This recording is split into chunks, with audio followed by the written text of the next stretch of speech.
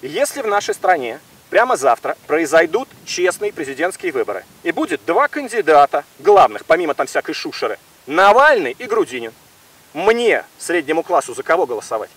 А, а почему ты противоставляешь? Вот давай так, если я, например, против коррупции и Навальный против коррупции, почему мы с ним не сойдемся? Знаешь, как в нормальном цивилизованном обществе второй занимающий место, ему дают место премьер-министра или какое-то еще. Навальный вам не даст премьер-министра. Подожди, откуда ты знаешь? Это как минимум три будет кандидата. А на самом деле гораздо больше. Ну, третий кандидат будет Сергей Шнуров, но я уверен, что нет, он нет, не четвертый наберет. Ксения Собчак. Ксения Собчак вообще 0%. Подожди! И силовики выдвинут своего кандидата и захотят его продвинуть. Силовики не идиоты, они понимают, что кандидат должен быть более-менее проходной.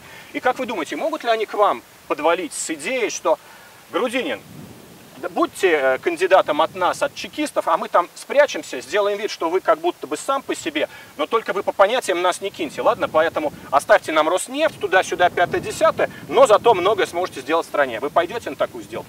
Миллиарды Грудинина, вот видишь, вот Да, миллиарды Грудинина вижу. миллиарда. Да, А вон видишь детский сад? Полмиллиарда. А вот Второй детский сад. а- а Это- второй, да, второй детский сад, кстати, Спортзал еще. чере- черепица из Австрии, из Германии, вот из этой Германии, там из Австрии.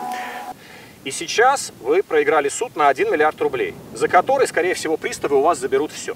Но началась вся эта история с того, что ваша бывшая жена Нет. забрала у вас 42% акций вашего чудесного бизнеса. И у меня был вопрос, домашняя заготовочка. Так во всем виноваты женщины или все-таки Путин? Абсолютно. Ты должен понимать, что рейдерская атака на совхоз началась э, в октябре 2017 года, когда никаких разговоров о, в том числе, разводе не было.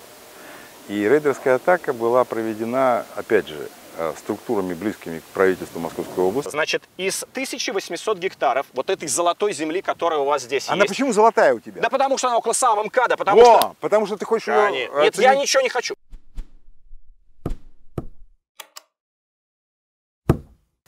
Павел Николаевич, это что за варварство? Почему у вас клубнику топчут ногами? Так, так, так, так, подожди. А они как ее собирают? Нет, товарищи? давай так. В этом году очень много дождей, а потом э, такая погода очень теплая, и поэтому земляника запаривается. И уже больше половины того, что мы собираем, мы вынуждены списывать, ну, выкидывать. Вообще. Землянику собирают раз в два дня. Значит, друзья, э, мы находимся на плантации Павла Николаевича Грудинина, знаменитого кандидата, знаменитого кандидата в президенты. Ленин мне не интересен. Я не верю, что Павел Николаевич всерьез про Ленина. Я думаю, что это все ширма и игра. На самом деле, это настоящий капиталист, хороший хозяин, у которого 2000 гектаров земли у самой Москвы, и он их не продал, не пропил, не сбежал в Ниццу, а умудряется здесь уже, бог знает, 20 лет выращивать клубнику. Охренеть может. Я ее в розницу почем могу сейчас купить? Э, По 300 и 350 рублей, в зависимости от качества. Так это беспредельно дорого. Я думал 200 хотя бы, вот в ваших фирменных Подожди, точках. Секунду. Нет, Если ты собираешь ягоду, и это натуральная ягода, которая пахнет, которая вкусная, то она должна продаваться дороже, чем турецкая. Но самое противное другое. Если тебе не дают точки продаж, ты вынужден вести ее куда? На оптовый рынок, на фудсити. А там знаешь какая цена? 150-170. И половину того, что ты мог бы заработать, зарабатывает перекупщик. Так вы на City есть, и вы там по 150 стоите. Вынуждены ездить туда и продавать там ягоду, потому что мы всегда продавали ягоду напрямую людям, а вот в этом году нам из-за того, что не дали места, мы вынуждены продавать оптом. И оптовик зарабатывает половину. Не тот, кто работал над ней там несколько лет, а тот, кто за один день ее, э, ну, смог, грубо говоря, дать, ну, получить место для торговли. Друзья, я хочу, чтобы вы понимали, это репортаж не о клубнике. Это репортаж о политике и о большом бизнесе. Реально, вот сейчас у Павла Николаевича отбирают все, вот эти И у Павла 2000 Николаевича- гектаров. подожди секунду. Правильно я понимаю? Неправильно ты понимаешь. Окей. Потому что Павел Николаевич не владеет этим всем. Это акционерное общество совхоз имени Ленина. А глаз лукавый, лукавый, Да не владеет не лукавый. всем. Нет, 20 это- лет. это неправда. Да, хорошо. Причем не 20, а 25 лет я директором. И у нас никогда, мы акционерное общество никогда не выплачивали дивиденды. И почему нас называют народным предприятием? Потому что все деньги, которые мы зарабатывали, мы тратили не на то, чтобы выплатить дивиденды э, директору или еще кому-то, а на то, чтобы развивать хозяйство. Я прошу прощения. Значит, у меня очень конкретная аудитория буржуазная, вы знаете, да? Она буржуазная Поэтому- аудитория тоже из Советского Союза Нет, вышла. нет. Подавляющее большинство моих зрителей 25-45 лет. Все, они Советского Союза не нюхали. Слушай, подожди, 60% населения хочет жить в Советском Союзе. Ты думаешь, в эти вот твои буржуазные люди не, Не хотят? один. В возрасте от 25 до 35. И? С маленькими. И они вообще не знают, какой Советский Союз, как это так в магазине Они знают, нет. что их дети получали, то есть их родители получали квартиры бесплатно. Ну, видишь, там э, этот, э, часы. Раз в час бьют э, куранты, выходят сказки, то есть э, э, персонажи русских народных сказок и два круга проходят. То есть в каком году, вот вы как Икей продали, тут и понеслась вот эта вся, да?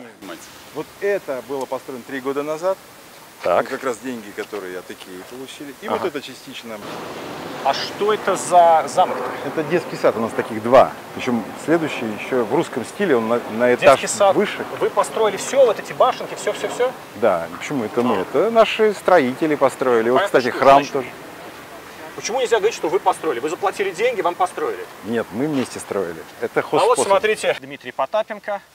И, как выяснилось, вас с Павлом. Грудининым связывает... В этой, в этой церкви э, Павел Николаевич крестил мою младшую дочь. Так что это мой кум. Слушайте, и церковь тоже вы строили? Да, причем вот, церковь 18 Глеб, ты видишь, это к разговору о том, что совхоз имени Ленина построил церковь, храм.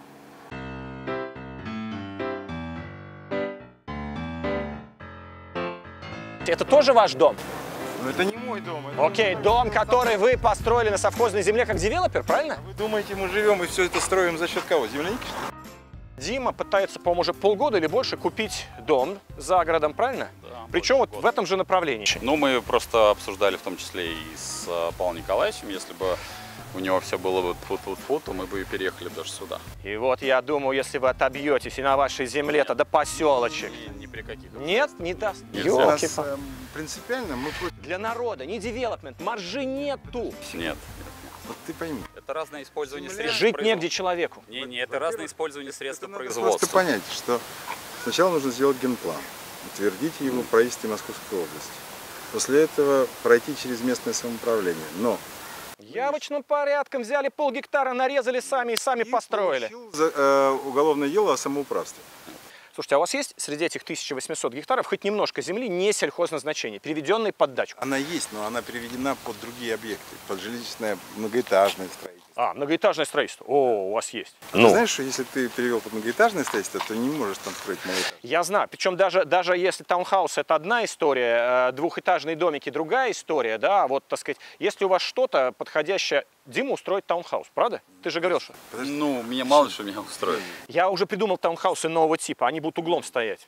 Верю. Сейчас, концепция развития совхоза предусматривала только многоэтажное строительство или сельхозпроизводство. Сколько у вас, простите, земли переведено под многоэтажное строительство? А, 13,9. Гектаров. А, так вот она, это сразу земля сколько стоит? Вот Сразу здесь. подорожало очень сильно. Да. То И есть- налог на нее тоже мы платим уже 5 лет, а нам не дают разрешения. Рыночная стоимость сразу такого. Это миллиард или нет? Или что-то другое? Больше В даже? общей сумме в 25 гектаров стоит гораздо больше. Не-не, я имею в виду 10, 10, 10 гектаров. Это примерно миллиард я- или не совсем? Э, Плюс-минус, ну, примерно порядок цифр такой, да? То есть у вас есть 25 гектаров, которые прямо вот хоть завтра превращаются в 25 миллиардов рублей, правильно? Это мы нас и грызут.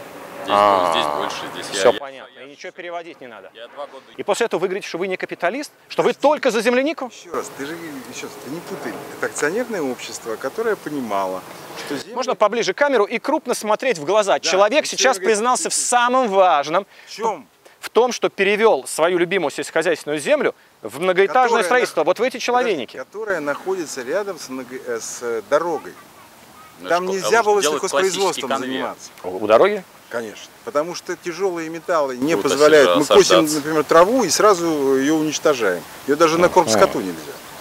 И вот если бы у нас с тобой было евро 5 э, бензин, то может быть еще и можно было бы. Потому что ты едешь, например, в какой-нибудь Берлин или в Мюнхен, там совершенно другая экология. А у нас, к сожалению, рядом с кольцевой дорогой, рядом с э, трассами федеральными, к сожалению, экология совершенно другая. Дим, я могу говорить, выкрутился, или это будет просто не неприлично? Если, это- если считать, э, считать э, цинично, я считал этот э, проект, считал цинично, здесь приблизительно 3 триллиона зарыто. Это вот минимум. Сейчас, подожди, мухи отдельно, котлеты отдельно. Значит, э, Мы нашли жирную муху. 25 гектаров, уже переведенные Да, под эти это- человейники. это- это- Конечно, это- Саблин, это- с Воробьевым облизываются, говорят, ни хрена себе. Представляешь, рядом с Дирабан Пари- сделать, это 3 триллиона. Подожди, рядом с Парижем есть э, зерновые, э, которые растут прямо в пригороде Парижа. Почему их не застраивают? Почему в Швейцарии рядом, я не знаю, там с Цюрихом есть э, коровы, которые ходят? Почему? Потому что это все должно быть продумано и обосновано. И Должна быть экология- гармоничная да. какая-то история. Почему, например, у меня друг в Ирландии говорит, слушай, они все старые сараи сохраняют. Знаешь почему? Потому что на новом месте построить ничего невозможно. Есть другая вещь. Можно Либо сразу получить много денег, а потом... знаю, А да потом-то чего? да, а потом что делать? Ну вот давай этот пруд застроим. Это вы подальше. перевели 25 гектаров под многоэтажки. А Да. перевели бы вы их под таунхаус или под коттеджи? При- Вы же перевели их под человеники. Остановись. При принятии генерального плана совхоза Люди-то имени Ленина, который был в работать 2010 году утвержден, в том числе были вот эти земли, которые до сих пор не застроены, уже больше 10 гектаров. Потому что если ты хочешь сразу все застроить и много получить, а потом... извините, Обрушишь, обрушишь рынок. А если ты можешь делать это постепенно в развитии, Но вы нисколько не построили. На 25 Вот, гектарах вы вот нисколько. посмотри, вот Подождите, эти это дома. построен, эти дома уже на вашей земле эти построены? дома построены на нашей земле. А, то есть вы девелопер, который построил вот эти вот дома, правильно? Да. И 300 сотрудников совхоза все улучшили свои жилища. Я даже- Вот один дом это 32 квартиры. Да, ну вот, значит, раз, два, три, четыре, пятьсот. Значит, Построил. пят- 500 квартир всего, 500. из них 300 Это нет, досталось это вашим сотрудникам. Ага. А вон видишь еще стоит желтое здание? Ну это, по-моему, школа, это сказали. школа. Да. Знаешь, сколько она стоит? 17 тысяч. 18... В этой школе 18 тысяч квартир? 18 тысяч квадратных. Когда ты увидишь эту школу, Там ты поймешь, что оборудование такое такое, оснащение что- школы. Миллиард восемьсот. Миллиард восемьсот. И Почти поэтому, если ты все это продал, а причем продал своим работникам, естественно, гораздо дешевле, с рассрочкой платежа, до сих пор уже э, 240 миллионов нам должны наши работники и бюджетники, потому что они получили все в рассрочку Ну, по низкой цене, 100 тысяч если метров. Ну, продавать. Ну, 200 квартир, значит, предположим, по 5 миллионов вы э, продали, получился миллиард. Так? Да, и еще миллиард добавил и построил школу. Миллиарды Грудинина, видишь, вот Да, миллиарды два вижу. миллиарда. Да, да. А вон видишь детский сад, полмиллиарда. А вот Второй детский сад. а- а Это- второй, да, второй детский сад, кстати, Спортзал еще. Чере- черепица из Австрии, из Германии, вот из этой Германии, там из Австрии. Павел Николаевич, сколько у вас земли? 2000 гектаров? Совхозе Ленина 1800, э, ну, в общем, около 1900 гектар земли. Сколько из них под клубникой? Под земляникой, которую ты называешь клубникой, всего больше 130 гектар. А вот. Ну, у нас же еще кормовые культуры, у нас овощи. Сколько ее? То есть 130 гектар плодоносящих плантаций, плюс 9 гектар. из 1800. Да. То есть 7%. Плюс Значит- к этому мы еще производим кукурузу на силос Ага. и много там чего. Потом еще у нас порядка 150 гектар под картошкой, где-то 50 гектар под капустой, 40 гектар под морковью, 30 гектар под э, свекло- 20 гектар под свеклой. Еще у нас был лук, но сейчас его мы не убрали, потому что Что про вас пишет умные издания? Forbes, РБК, они пишут, ну так, вся вот эта земляника грудининская, это так, это все то ли хобби, то ли, э, так сказать, что-то другое, а все деньги, это, конечно, 1800 гектаров помимо земляники. Значит, из 1800 гектаров вот этой золотой земли, которая у вас здесь Она есть... почему золотая у тебя? Да потому что она около самого МКАДа, потому Во, что... потому что ты хочешь ее нет, нет, я ничего не хочу. для- я для про деньги, у меня буржуазная аудитория. Мы хотим... Вон видишь, та- вот та земля? Э, она когда-то была изъята у совхоза Так. для дач.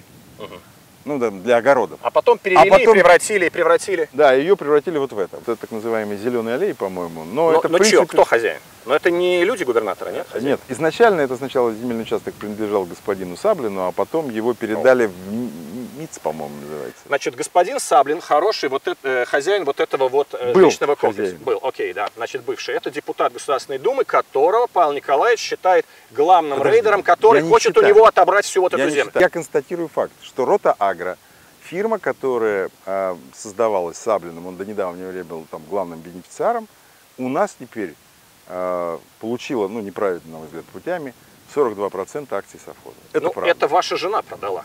Она не продала. Она передала в уставной капитал, а потом за 2 миллиона рублей, хотя, представляешь, что такое 42%, как ты говоришь, золотой подмосковной земли в 1800 гектар. И почему-то эта сделка была оформлена за 2 миллиона рублей.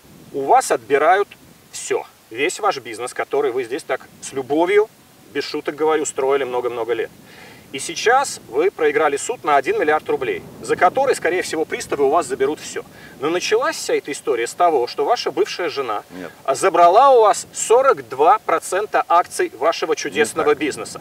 И у меня был вопрос, домашняя заготовочка. Так во всем виноваты женщины или все-таки Путин? Абсолютно. Ты должен понимать, что рейдерская атака на совхоз началась э, в октябре 2017 года, когда никаких разговоров о, в том числе, разводе не было. И рейдерская атака была проведена, опять же, э, структурами, близкими к правительству Московской области. Там присутствовал депутат э, областной думы от «Единой России» некто Жук такой, который, конечно, ничего не делал без команды э, от губернатора. и рейдеры, которые, ну, юристы, скажем так, Рейдеры того самого знаменитого Полихаты. которые потом оказались Те же самые рейдеры. Полихаты, Ага. а потом теперь защищают интересы Рота Агро и моей бывшей жены. Два слова. Значит, Полихата – это крутейший мэн, один из главных рейдеров России, который прославлен на всю страну тем, что у него возник конфликт со следователем, не помню, Следственного комитета Гривцовым, и тогда это была взятка на самую рекордную сумму. Это потом уже начали находить какие-то там чудовищные миллиарды в квартирах всяких там полицейских и чекистов. Но тогда, лет то ли 10 назад, то ли уже даже 15, я делал репортаж в программе «Максимум» о том, что и вот тогда страна узнала, кто такой Полихат. Но не вся страна, а только продвинутая публика. И поэтому, когда я узнал, что у Павла Николаевича все это рейдерит Полихата, я подумал, ох, круто с таким человеком сражаться. Это прям человек, который на этом собаку съел и, видимо, дожмет. Вот я должен тебе объяснить, или может быть ты мне объяснишь, в чем крутость Полихата?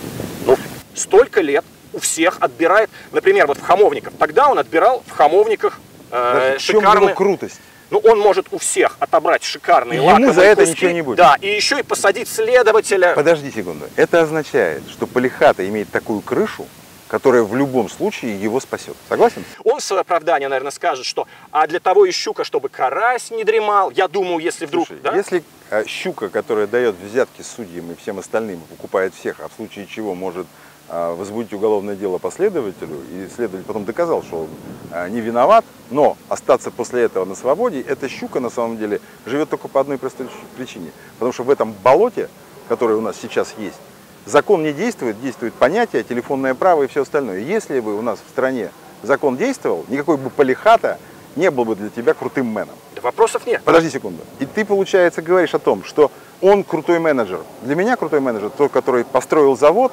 выпускает продукцию, которой может гордиться страна. Вот тем молоком, той земляникой, которую мы выпускаем, может гордиться страна. А Полихата что сделал такого, чем можно гордиться? Ну, он гордится тем, скольких он нахлобучил и как много И всего он что? отобрал. Он ездит на Майбахе, у него офис в этих э, Москва-Сити. И что толку-то? Он ну, что-то чем, произвел? чем гордится вождь в племени в Африке? Что он отымел всех самок э, в этом колхозе, что он всех остальных опустил, ограбил Я всех и понять. сидит в золоте. Вы понимаете, да? Ты, То нет, есть ты человеческом- ты этим восхищаешься? Нет, но я... Так, стоп, секунду. И поэтому давай разберемся. Если ты считаешь, что такие, как Полихата, это соль земли русской, Да то и я нет, с тобой не конечно. Ну и С чего поэтому- я вам это сказал? Поэтому никакой не Ну, крутой мэн. Ну, а, никакой. Хорошо, он никакой. обыкновенный. Но он вас дожал, у вас за миллиард Да забирает вот это все, правильно? Он с двойным гражданцем из Англии, значит, с э, сыном, который сидел в английской тюрьме, он теперь является для тебя образцом. Да нет, Ты конечно. сказал, он крутой мэн. Да нет никакой для меня образец. Вот Если подожди, я сам для мебель меня, делаю вот своими подожди, руками, вот. вы для меня образец, вот, а не он. Вот, вот и все. И поэтому давай с самого начала начнем, что этих людей вообще не должно быть в России. Согласен, только начать с того, что как только у нас в светлой России будущего будут четкие правила игры снизу доверху, Полихата свалит отсюда, и все, его не будет в ту же секунду. вот. Причем он свалит раньше других. Вот и всё. Еще судья будет при должности сидеть и думать, так, я могу брать взятки или не могу? Она еще не поняла, а Полихата уже свалил. Вот подожди, и вот наша страна должна избавиться от этой пены. Конечно. А и, вот для- когда мы избавимся от этой пены, тогда нам будет легче жить. мы избавимся на свободных президентских выборах, правильно? что- Ну, подожди секунду. А не надо глаза опускать. Кандидат в президенты бывший. А теперь второй вопрос, домашняя Подожди. заготовочка. Ну, давай. можно? Давай. Значит, если в нашей стране прямо завтра произойдут честные президентские выборы, и будет два кандидата, главных, помимо там всякой шушеры, Навальный и Грудинин, мне, среднему классу, за кого голосовать? Ну, если ты выбираешь буржуазное развитие, то за Навального. Если э, э, социалистическое, ну, социальное, ну, то, что вот мы говорили о Норвегии, Швеции, то, скорее всего, за меня. Ребята, вам решать, вот вы за кого проголосуете на выборах Светлой Хотя России я думаю, будущего. знаешь как, а, а почему ты противоставляешь? Вот давай так, если я, например, против коррупции и Навальный против коррупции, почему мы с ним не сойдемся? И он совершенно спокойно может взять Так и меня. вам же Подожди, одному из вас надо победить. подожди, Это подожди. выборы, вы а второму выдвинулись. стать, вот знаешь как, в нормальном цивилизованном обществе второй занимающий место, ему дают место премьер-министра или какое-то еще. Навальный или- вам не даст Подожди, премьер-министра. откуда ты знаешь? Навальный же поддержал коммунистов. Я не очень хорошо Подожди. знаю Навального, но я уверен, что он Подожди вам не секунду. даст. Когда он на выборах в Мосгордуму поддержал коммунистов, он что, про- против своей совести пошел? Нет, вопросов нет. Подожди секунду. Ну, Значит, во-первых, это была политическая целесообразность, безусловно. Подожди, я говорю о другом. О том, что люди, которые хотят развития страны, не вот как по принципу Полихата и остальные, значит, крутые мены, а хотят развития страны как производственной площадки, как, э, ну, скажем так, на мировом э, рынке мы должны завоевать определенное место, то тогда Опять такие, как увели. я, не, не, нет, Опять такие, как я, нужны. за социализм и коммунизм. А Хорошо, как ты хорошо. хочешь? Ты я же не хоть- ты- ну, Не-не-не. поэтому- Э, Окей. Давай. Я Вот же- если бы- Я молчу, я подставка под телекамеру. Да, а вы, да, да. а Нет, вы нет, ты- кандидат ты- в президенты. Подожди, и вы рассказываете стране, Глеб, ты не молчишь, голосуйте за ты меня. не молчишь, ты все время пытаешься собственное мнение навязать, а я пытаюсь тебе как-то объяснить, что на самом деле разные точки зрения могут иметь право на жизнь, и они должны между собой находить общие какие-то вещи. Поэтому объединение всех сил против того, чтобы коррупция развивалась, против того, чтобы э, мы не- больше произв- э, против того, чтобы мы не производили, а просто вывозили э, за рубеж всякие богатства свои, против того, чтобы люди, которые живут в самой богатой стране мира, вдруг жили нищими, вот это объединение, какая разница, кто будет это делать? Навальный, Грудинин, там, я не знаю, кто там еще на политическом спектре есть, там, Жириновский, какая разница? Скажите мне, я должен дожимать эту тему, да? Что на свободных, честных У тебя есть выборах еще кандидатов заготовки? будет два. Заготовок? Да. Дофига и больше, но я лучше... Ты же начинаешь фантазировать, потому что как минимум три будет кандидата, а на самом деле гораздо больше. Ну, третий кандидат будет Сергей Шнуров, но я уверен, что Не, он нет, не наберет. четвертый Ксения Собчак. Ксения Собчак вообще 0%. Подожди секунду, я говорю о том, что Ну, я же сказал, кандидаты... два главных и куча всякой шушеры. А потом кто-то из правящей партии «Единая Россия», поддержанный э, большинством бюджетников. А теперь мы переходим к реальной политике, что, скорее всего, э, честных выборов после Путина прям сразу не будет. А будет, безусловно, драка бульдогов под ковром, и силовики выдвинут своего кандидата и захотят его продвинуть. Силовики не идиоты, они понимают, что кандидат должен быть более-менее проходной. И как вы думаете, могут ли они к вам подвалить с идеей, что Грудинин, будьте э, кандидатом от нас, от чекистов, а мы там спрячемся, сделаем вид, что вы как будто бы сам по себе, но только вы по понятиям нас не киньте, ладно? Поэтому оставьте нам Роснефть, туда-сюда, пятое-десятое, но зато многое сможете сделать в стране. Вы пойдете на такую сделку? Во-первых, у тебя слишком много допущений. Первое, ты сейчас сказал, что Роснефть контролируется силовиками. Это а? Сечин кто? Подождите секунду. И ты считаешь, что сейчас основную скрипку в политической э, нашей э, тусовке играют силовики? Ну, безусловно, с каждым днем все больше. Стоп, Губернаторы становятся, охранники Путина становятся Подожди. И губернаторами. поэтому ты считаешь, что честные выборы невозможны, потому что в любом случае силовики не дадут проведения честных выборов. Это Ну, я правильно понял? Да, конечно. Ну и все. А теперь так, ты сам ответил на свой вопрос. В случае, когда силовиков все больше и больше, а производителей все меньше и меньше, скорее всего, они побеждают на любых выборах. Не. Да, потому что суды... Производителей больше, чем силовиков. Вы тут же подменили Не, понятие. не, не, не. Я говорил, что у них сил больше, Ну, но подожди. больше по количеству, безусловно, Ты знаешь, сколько трактористов в России? Наверное, уже мало, к сожалению. А сколько Нужно росгвардейцев? больше. А, а росгвардейцы, на ваш взгляд, это силовики? Да, на мой взгляд, это просто совсем никакие ребята из Нет, колхоза. секунду. Это просто Они- деревенские парни с нулевым уровнем, так Подожди, сказать, кругозора. они получают деньги из бюджета, и они называются силовиками. Слушайте, вот сейчас в Хабаровске произошло... Ребята, знаете, когда я просил э, у Павла Николаевича это интервью, в Хабаровске еще вот эти события, э, протест, э, массовые митинги народа э, в знак протеста против того, что их губернатора Фургала посадили, этих митингов еще не было. А это новое явление. Там нет лидера, там нет ни Навального, ни Ходорковского, там силовикам сажать некого. Там просто народ вышел на эту улицу, весь этот город. Для Хабаровска 35 тысяч э, м, демонстрантов, но это как в Москве миллион.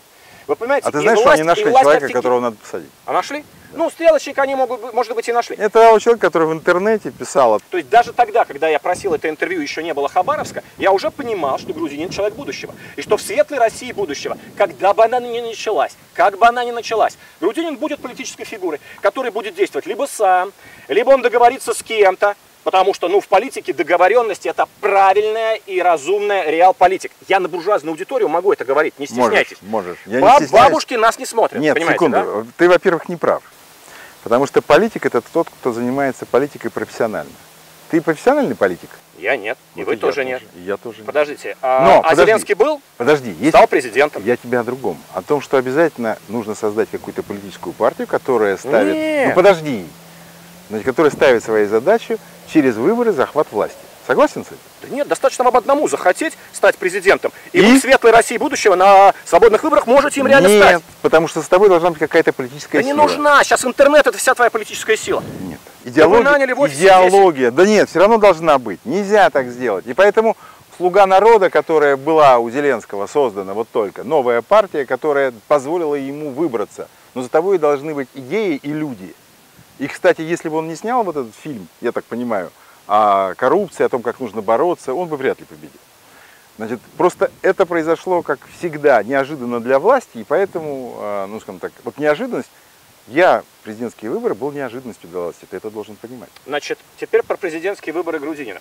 Значит, вы в интервью Потапенко Дмитрию, который обещал подъехать, э, на «Эхе Москвы» рассказали, что э, вы сам изъявили желание выдвинуться э, Нет, в канди- было не Нет? так. для того, чтобы защитить свой бизнес от наезда. Не так. Не так? было, А как? Абсолютно. Я рассказал о том, что э, левый фронт вместе с другими там, политическими левыми э, движениями устроил голосование э, у себя в интернете, и в первый тур вышли два человека, Грудинин и Болдырев. А во втором туре с небольшим преимуществом победил я. Тогда вот эти все левые движения предложили КПРФ, в том числе ПДС и НПСР, пять кандидатов, из которых КПРФ в том числе вы- выбирала. Но решение о том, кого выдвигать, принадлежало президиуму ЦК КПРФ и Коммунистической партии Российской Федерации. Ну, это вы, факт. вы нас утопили в бюрократии, реально. Нет, нет, это А реальная почему жизнь. я из интервью вашего на «Эхе Москвы» уловил, что вы, наконец, впервые признались, что это вы двинулись в президенты от коммунистов, чтобы защитить бизнес от наезда? Так не бывает. Я говорил о другом. О Да том, почему же что- не бывает? Сейчас объясню почему. Потому что политическая партия не бизнесмен для того, чтобы защитить его выдвигает, а наоборот. Вы Потом- гениально разговариваете, вы очень талантливо сбиваете меня с мысли. Я тебя не сбиваю сторону. с мысли, я тебе рассказываю свое значит, понимание. я постараюсь все-таки, Я несмотря тебя- на 30-градусную жару, запомнить. Значит, у меня был главный вопрос. Когда вы от коммунистов выдвигались в президенты, как вы думаете, Зюганов согласовывал вашу кандидатуру с администрацией президента? Я думаю, что для администрации президента на уровне там, тех, кто принимает решения, это было неожиданностью. Нет, ну Зюганов поставил их в известность, что не я выдвигаюсь на эти выборы, а вот от меня Грудинин, смотрите Какой момент? Ну, тем не менее, они сказали, да окей, они еще недооценили, насколько вы для них опасны. А я правда? тебе сейчас расскажу, я все время рассказываю эту историю, что до 1 января, когда только произошло выдвижение, а движение произошло, по-моему, 20, 19 декабря, там началось э, 22 декабря, так вот до 1 января меня пускали на все федеральные каналы. Дали мне возможность э, Да-да-да, высказываться. мы это видели. А после А 9 потом у вас так рейтинг попер, что они перепугались Подожди, и начали подожди, вас мочить. Да. А потом вдруг все изменилось. Меня никогда не выпускали на эфиры, но зато про меня столько рассказали. Я, я столько про себя вообще У вас в не счета где-то там, хрен знает, в Слушай, Швейцарии, еще раз, что ли. Все счета были закрыты. И если бы я не закрыл счета... Не как- надо стесняться Я о счетов. другом. Ничего страшного в этом нет. Как бизнесмен я мог это делать. Но в соответствии с законом я должен был закрыть, я их и закрыл. И если бы я их не закрыл, меня бы сняли с предвыборной кампании. Потому что это, этот разговор э, был все время. А потом они увидели, что крыть-то нечем. Но самое страшное другое. Вот этот вот, как говорит, поперший рейтинг, как ты говоришь, он кого-то так сильно напугал, что до сих пор Администрация президента, мне конечно. и кается. Вот, вот до сих пор. Ну, они понимают, что вы реальный кандидат в президенты. Все понимают. Я что к вам прискакал-то? Я говорю, ага, Грудинин Подожди. начал Ты разговаривать. прискакал потому, что нас дожимают. Нет, нет. В комментариях к моим роликам люди пишут, когда видят, что я расследую землю там, землю здесь, беспредел, говорят, слушай, у Грудинина бизнес отжимают. Приезжай и сделай это интервью. Таких, наверное, 200 или 300 комментариев. И вы тогда не хотели, Вот а теперь вы ты согласны. можешь найти данные, вот месяца три назад был, Орловский экономический форум. Ты представляешь, выходит там вот этот вот Грудинин, который, как ты говоришь, обладает землями, и говорит, слушайте, а давайте сделаем как в Китае. Заберите всю землю сельхозназначения и дайте тем, кто на ней работает, в аренду на 99 лет. Тогда вопрос, что у тебя будут отжимать землю, пропадет. Ну, потому что с государством Так бодаться. аренду Подожди отожмут секунду. так. Не, нет, секунду.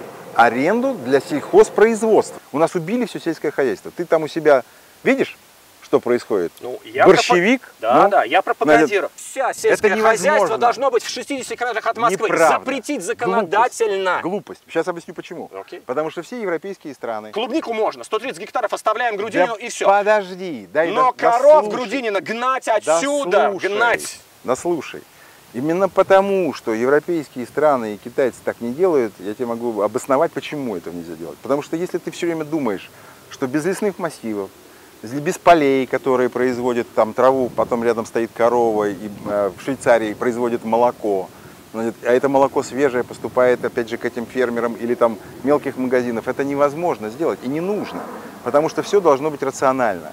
Чем больше ты построишь коттеджных поселков, тем больше нагрузки на экологию, тем больше ты должен построить очных сооружений, куда это все сливается, как это происходит. Маленький домик на семи сотках, ты за Слушай, всю жизнь подожди. столько не накакаешь, чтобы хотя бы до туда дотекло. Слушай, еще. Все. Ты даже не представляешь, что, например, а, многие считают, многие в Швейцарии поселки неэкономичными. Почему? Потому что развивать вот это строительство, а, скажем, такого типа, это значит коммуникаций должно быть в разы больше, дорог в разы больше. Но это такая нагрузка на экологию, что То потом... есть в Москве нагрузки на экологию нет, человеники строят нагрузки подожди. нет, а я хочу на Новой Риге в 30 километрах людям дачки Слушай, сделать, не смей. подожди, Давай коров Грудинина подожди. там разводить. Да не хочу я коров Грудинина. Есть обоснованные, экономически обоснованные нормы. И на 100 гектарах должно быть определенное количество всего, в том числе и лесного массива, в том числе и вот этой вот э, земляники и всего остального. И когда люди в европейских странах считают нагрузку на экологию, они предусматривают в том числе и поля, и э, леса, и многое-многое другое, водоемы. А ты говоришь, а давай все застроим. э, Обратите внимание, это, молчу. Молчишь. А вы голосуете. Вы чувствуете? Грудинин говорит, я не, не, Нет, не, подожди. готовый кандидат Я- в президент. Вы услышали, что Грудинин в светлой России будущего на честных выборах будет говорить в камеру. Не, подожди, я Да, буду а говорить... в это время Навальный будет говорить борьба с коррупцией, разоблачать, Нет, разоблачать. подожди, За кого подожди. вы проголосуете? Нет, подожди. Мне кажется, что большинство Про населения проголосует за Грудинина. рассказать. Я тебе о другом. О том, что мы каким-то странным образом построили свою страну, где жить можно только в крупных городах и рядом с ней. А все остальное, пускай вот там занимаются. Да, значит, э, у, как- у этой, у этой теории есть определенный... э, ну, Краснодар пухнет, люди туда едут, едут. Почему, Расползается. Погода хорошая. Правильно. Либо хорошая погода, и э, ясно, что с Сибири, э, если у тебя много денег, едут в Москву. Прут в Краснодар А если вечера. меньше денег, в Краснодар. Но вот эти регионы, которые, их не так много, а нужно сделать, чтобы вся Россия была, ну, скажем так, самодостаточна. Мы остановились на том, что а, у Грудинина здесь 1800 гектаров. Из Не у Грудинина, а у совхоза. У совхоза. А, мы считаем, а я считаю, что у Грудинина. А он говорит, что я не я, и хата не моя. А я считаю, что хата его. Окей. Итак, значит, у совхоза имени Ленина 1800 гектаров, из них под клубникой, под земляникой, только 130. Еще 700, по-моему, под кормами для коров. Правильно я вас услышал, Да, да? еще под садами сто. Охренеть можно. И при этом вот здесь можно. Нет, под кормовыми Да, культурами. и при этом здесь можно строить, ну, хочешь мегу, хочешь икею, хочешь дома, но, на мой взгляд, лучше, например, таунхаусы. Подлетаешь к Вашингтону, не самый большой город в Соединенных Штатах, все вокруг таунхаусы, вы понимаете? Ты был не вот такие, да, конечно, не вот такие человеники, а таунхаусы. Вот я считаю, что на ваших 1800 гектарах здесь должны быть сплошные таунхаусы. Но не в этом вопрос. А вопрос в том, за какие на самом деле деньги вы продали 9 гектаров под торговый центр Икея и Мега? Совхоз Емельянин организовал компанию TT Development, которая продала э, половину земельного участка, который мы ей передали, за, за миллиард шестьсот миллионов. э, Миллиард шестьсот миллионов. Окей. Это, по- это была рыночная вполне цена, да? Да, это Такая было же? выше рыночной. Это было выручка, выше рыночная. Отлично. Но главное другое. Мы 300 с чем-то миллионов заплатили налогов, а остальные деньги перевели в совхоз имени Ленина. Прекрасно. Теперь, подожди сма- секунду. теперь смотрите, у Вопрос, него откуда осталось... взялся миллиард? Да, это всего 9 гектаров из 1800, вот здесь. То есть, представляете, здесь можно еще, правильно я считаю, что еще 200 раз по 9 гектаров, правильно? 1800, это 200 раз по 9 гектаров, да? Еще можно 200 раз по миллиардику здесь снять. И после этого Грудинин будет надеяться, что он клубникой занял землю стоимостью 200 миллиардов, и он отобьется. Ну, отбивается, смотрите, уже 20 лет отбивается. По-моему, это гениальный человек. Как это умудриться, я не понимаю. То ли звезды помогают, то ли Зюганов помогает, я не знаю кто. Но согласитесь, зажать 200 миллиардов под своей ногой, чтобы получать на клубнике 30 миллионов рублей в год на клубнике, правильно я услышал? Это только выручка, это не 300 чистая прибыль. миллионов. 300 миллионов. 330. 330 миллионов рублей, это просто выручка на клубнике. Еще раз. Это не, это не прибыль чистая, правильно? Глеб, еще раз. Да, это только выручка. Но и, ты на, и на молоке 150 мы миллионов. по-разному оцениваем землю. Мы оцениваем землю как средство производства. И она еще должна не только мне, моим внукам, моим, э, моим работникам, внукам моих работников, но и правнукам принести. У нас совхозу 100 лет, и никто никогда не оценивал землю как который, товар, который продал и потом взял, собрал деньги и уехал куда-нибудь за рубеж. Мы работаем на будущее. И мы занимаемся плодородием почвы, Мы ведем... Павел а, Николаевич, дорогой, простите, что я опять перебиваю вашу э, предвыборную речь. Для чего человек Кандидата в сажает сад? Подожди. от Нет. коммунистической партии. Не понимаешь, это, это неправда. Это просто... Я директ- 10 лет работал в газете «Коммерсант». Вот Еще раз. открываешь газету Стой. «Коммерсант», «Ведомости», «РБК», и про вас пишут так. Так, Грудинин, у которого 1800, это золотая земля, но он на ней. И дальше рассказ, понимаете, да? Да потому То что пишут люди, которые не есть, Которые патриоты. капитализм. которые, извини меня, никогда ничего сами не сделали. Написав статью, они получают в 10 раз больше, чем обыкновенный тракторист, который работает на поле. Хотя никакой пользы они не принесли. Я тебе о другом. О том, что есть еще одна идеология. Идеология развития страны. И те, кто производит что-то на этой земле, гораздо для меня более важны, чем те, которые пишут, что это нужно все продать и нахрен свалить куда-то. И вот эта идеология, которая последнего, в том числе и власть э, выражает, потому что чиновник почему-то воспринимает землю не как будущее страны, а как товар, который надо продать. Он видишь лесной массив? Вот там один чиновник взял, отрезал 4 гектара и взял, просто украл это все. Написал. Никак не оформил? Нет, оформил. А, оформил. Через суд, дал денег. И в результате А теперь... фамилия есть у чиновника? Ну, конечно. Какая? Венцель. А кто он? А он был главой местного ну, муниципального образования. И Венцель, вдруг, приготовьтесь. подожди секунду. 4 гектара, Да и без разницы, лет- никто никогда ничего не докажет, потому что все засилено судом. У нас есть планшеты, что это земля лесного фонда, рядом есть тоже федеральная земля. Депутаты Госдумы написали генеральному прокурору письмо, что ты думаешь? Кого-то взяли за это? Да нет, Никого. конечно. Вот и все. А это лесфонд или нет? Да, это лесфонд. То есть он А 4 теперь- гектара из лесфонда вытащил, Конечно. да? И у него там что, один домик? Нет, у него пока ничего нет, он поставил А. это на продажу. Не он. В светлой России будущего, Венцель, у вас Подожди, заберут эти 4 подожди, гектара, так что подожди. лучше валите в Ниццу прямо Подожди, сейчас. и он потом, гол- Не-не, не-не, губернатор Венцель, его... имейте в виду, светлая Россия будущего может случиться прямо через полгода. Потому что Слушай, Хабаровск да доказал никогда. сейчас как. Да не никогда. Я вам правда, вот смотрите, ребят, чтобы все понимали. Значит, почему Хабаровск так важен? Потому что зачистили поляну, там у, от- в открытой России обыски, тут сажают, там сажают, там Навальный сидит там в Москве, там отбивается камерой, компьютер свой последний защищает. А в это время выходит без организаторов 35 тысяч человек на митинг в Хабаровске и тысячи человек в Комсомольске на Амуре. Вы понимаете, вот ровно так э, в феврале 17 года произошла февральская революция в шикарной сверхдержаве мировой, в Российской империи и свергла власть нахрен. В этот момент в России было 50 тысяч заключенных. Все лидеры, эсеры, большевики сидели или в тюрьме, или были за границей. Вы понимаете, все. И генерал-губернатор Петербурга докладывал царю, да спокойствие, всех арестовали. План выполнен на 100%, и царь уезжает. Вы понимаете? И при этом в этом городе, в Петербурге, 300 тысяч войск и 2 миллиона жителей. И там происходит колхозницы, какие-то там Не, не, ты выборгская не сторона. Нет, очень подробно знал. И унтер Кирпичников, первый, кто отказался стрелять в народ и застрелил своего офицера. Унтер Кирпичников никакому ФСБ в голову не Подожди пришло бы секунду. его арестовывать, потому что он был никто. Вот почему? Он не лидер, он никто. Понимаете, это Хабаровск, Сейчас- унтер Кирпичников. И февраль 17 года в Петербурге. Это ровно то же самое, что сейчас в Хабаровске. Вот так Да нет. рухнет режим К сожалению, нет. в России. Потому что ты должен читать, э, в том числе основоположников марксизма-ленинизма. Ленин говорил, что должна создаться революционная ситуация. В России революции происходят где? В столицах, а они на окраинах не происходят. И вот если ты сравнишь это с э, Емелькой Пугачевым, с бунтом, да, он тоже начинался довольно сильно, но в столице ничего не произошло. И вот если бы вот то, что ты сейчас говоришь, произошло бы в Москве, я бы с тобой, наверное, согласился. Но революционная ситуация, которую я говорил, когда верхи не могли, низы не хотели, помнишь, как это все было записано, да? Я учил эту херню Ну, ну, долго, ты- да. Подожди, ты учил. Я тебе о том, что это все равно должно произойти в столице. И вот когда ты надеешься на то, что что-то будет происходить, ты увидишь, что даже пенсионная реформа людей не всколыхнула. Люди, каждый пострадал от этого фактически, но на улице вышло не больше 100 тысяч. А вот во Франции, где вышло больше миллиона, сразу Желтые поменяли. жилеты, что ли, вы это имеете в виду? Нет, это было еще до этого. А, 1789 год? Тот? Нет, вот именно когда была пенсионная реформа, это было до желтых жилетов. И сразу отменили пенсионную реформу, сразу выгнали из правительства того, кто ее предложил.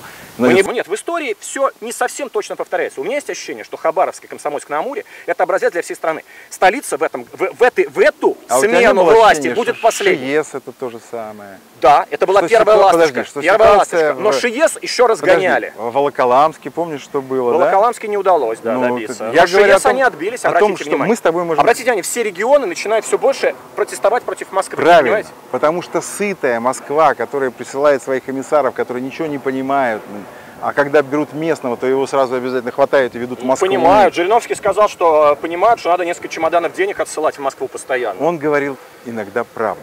А, Да, я Но тоже подожди, думаю, что это правда. но об этом знают без исключения все. И это надоело не только Навальному, я имею в виду коррупция и все остальное, но и всем остальным. Потому что развитие регионов не происходит. Все высасывается в один центр, пропадает неизвестно где, значит, тратится на э, разные мегапроекты. Там, закопал трубу, вытащил трубу. Значит, и люди нищие не могут так дальше жить. Трактористов квартиры 110 метров, да? Живут они там вчетвером. Это нормально? Да не, не, это фантастически жирно, 110 метров на четверых, это просто фантастика. так, так не бывает. А можно я узнать, кто ваши акционеры? Значит, у вас было 48% акций, да? 44. Из них бывшая жена 42 забрала. И таким образом, э, Она забрала у э, там, председателя совета э, акционеров. в целом она собрала контрольный пакет? Нет, еще пока. Еще пока не собрала. Сейчас, если вот этот миллиард они э, реализуют, и мы его не соберем, тогда... Значит, речь идет о том, что сейчас Павел Николаевич проиграл иск на миллиард рублей, и если его придется выплачивать, или приставы будут за этот миллиард забирать акции и все остальное, то очень может получиться, что ваша бывшая жена соберет контрольный пакет. Бывшая жена вообще никакого Ну, бывшая жена отдала это в управление людям Саблина, правильно я понимаю? управления. Она сразу за два дня передала в собственность Рота Агро, хотя должна была по закону предложить нам, потому что закрытое акционерное общество, акции не должны выходить за пределы. А она отдала их Саблину, Рота Агро. Скорее всего, за очень маленькие деньги она продала роскошный актив. Ну, это 2 миллиона, нет, ну, Ваша бывшая жена никогда бизнесом не занималась, ничего, так сказать, в делах так сильно не понимает, правда? не так. У нее есть хороший советчик, там старший мой сын, который... Ну тогда не так обидно, если все-таки старшему Нет, сыну обидно. досталось. Это обидно. Слушайте, я не пойму, а почему вот э, разгар нужно э, сколько сейчас? Три часа? Почему никто не собирает клубнику? Потому что в 6 утра они начинают, а, А. в час заканчивают. В такую жару собирать землянику невозможно. Значит, если я у вас заказываю оптом, то вы привозите мне вот пять таких ящиков, правильно? Нет, если ты говоришь 15 килограмм. оптом, то это 100 килограмм, например. Сколько? Нет, слушайте, у вас интернет-доставка 15 килограмм, правильно? А, да, от 15 килограмм. Сколько таких ящиков? Это 5 таких ящиков. Пять таких ящиков. Не-не, Губернатор его- имейте в виду, светлая Россия будущего может случиться прямо через полгода. Потому что Слушай, Хабаровск да доказал никогда. сейчас как. Да не никогда. Я вам правда говорю. Вот смотрите, ребят, чтобы все понимали. Значит, почему Хабаровск так важен? Потому что зачистили поляну, там у, от- в открытой России обыски, тут сажают, там сажают, там Навальный сидит там в Москве, там отбивается камерой, компьютер свой последний защищает. А в это время выходит без организаторов 35 тысяч человек на митинг в Хабаровске и тысячи человек в Комсомольске на Амуре. Вы понимаете, вот ровно так э, в феврале 2017 года произошла февральская революция в шикарной сверхдержаве мировой, в Российской империи и свергла власть нахрен.